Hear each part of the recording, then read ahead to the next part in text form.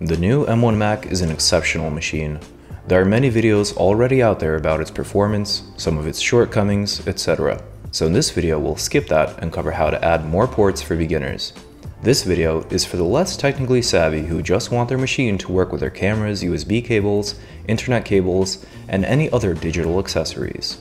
We'll cover from the cheapest to the most expensive options, increasing the number of ports and speed of those ports as we move along. We'll also cover a ludicrous mode for a ridiculous number of ports. If you haven't already, check out my other video on how to use up to 5 more screens with your new iMac. Let's hop in. The cheapest option currently on the market is a simple USB-C dongle. If you're a first-time Mac buyer who's just getting into the flow of things, the new Macs come with a smaller version of USB that's faster, reversible, and takes less space, but it might be incompatible with older cables, such as Lightning to USB regular. These are typically around 20 to $30 on Amazon and I'll link a well-reviewed model below.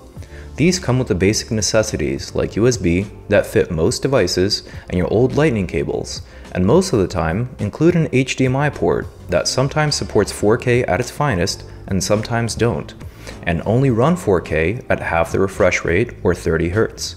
It'll look choppy and be unpleasant to use if it's 30 Hz. At least in my experience, I've had two fail over the past few years out of six or seven that I've bought, since it's a race to the bottom to see who can make the cheapest dongle. Another downside is that these are typically limited with how many USB 3 ports they have and how many ports overall, and whether they run the ports at full speed. A middle tier option is a USB-C hub, Unfortunately, I don't own any since I decided to spend a bit extra for a Thunderbolt 3 hub, which we'll cover shortly, but USB-C hubs are a good middle tier option that can be typically found for 100 to $150. USB-C hubs have more ports and more display options typically. At this point, it's worth mentioning that the two options we just covered are good for basic necessities, but let me introduce USB-C versus Thunderbolt. If you do more data-intensive operations like copy to external drives or running extra screens for your workflow, then I'd recommend upgrading to Thunderbolt 3. And the reason? Simple.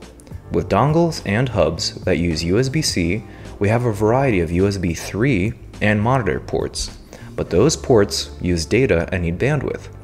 Each USB 3 port can run up to 5 gigabits per second, but assuming you're copying data to disks or running screens over USB or monitor connections, that bandwidth is quickly used up. With all of those things plugged in, the dongle or hub will have to choose which connection to prioritize. So if you have more demanding tasks, then it might be worth considering upgrading to Thunderbolt 3, which has 4 times the maximum total bandwidth of USB-C.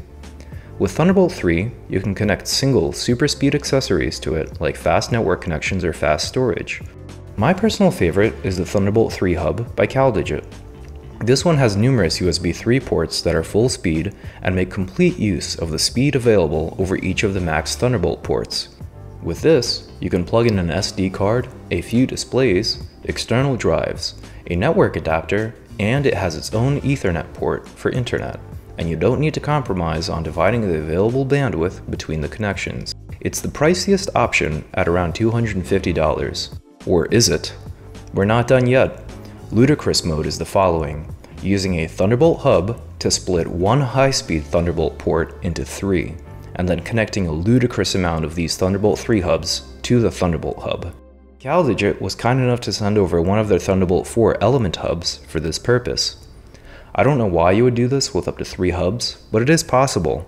You never know everyone's workflow, and some people like audio or video professionals may need many, many connections at once, so this is how. It's pretty straightforward, you just plug in the Element hub and then plug in the CalDigit hubs. M1 Macs are unfortunately limited in how many displays they can support by default, but be sure to check out my other video on how to work around that limit and run up to 6 displays total on your M1 machine. That's all for today's video. I hope you enjoyed this brief overview on adding ports to your M1 iMac and how to achieve ludicrous mode. If you liked the video, please consider subscribing. I'll leave links in the description below to all mentioned dongles, hubs, and adapters, and a small proceed of anything bought through those links does go towards buying more materials and helps support the channel.